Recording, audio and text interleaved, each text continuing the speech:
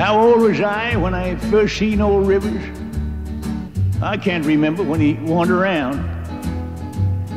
Well, that old fella did a heap of work. Spent his whole life walking plowed ground. He had a one-room shack not far from us, and, well, we was about as poor as him. He had one old mule he called Midnight, and I trailed along after them. Used to plow them rows straight and deep, and I'd come along there behind,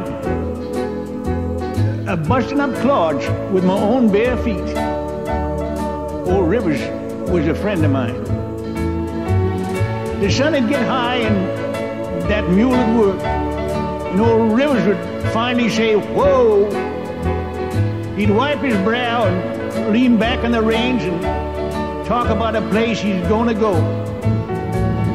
you'd say, one of these days, I'm gonna climb that mountain, walk up there among them clouds where the cotton's high and, and the corns are growing and there ain't no fields to plow.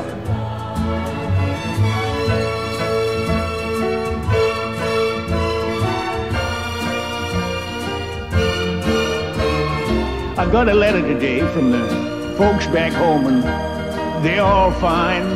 Crops is dry. Down near them end, Mom said, son, you know old Rivers died. They're sitting here now in this new plowed earth, trying to find me a, a little shade. With the sun beating down across the fields I see, that mule, old Rivers, and me. Now, one of these days, I'm gonna climb that mountain, walk up there among them clouds, where the cotton's high and the corns are growing, and there ain't no fields to plow. With the sun beating down across the fields I see,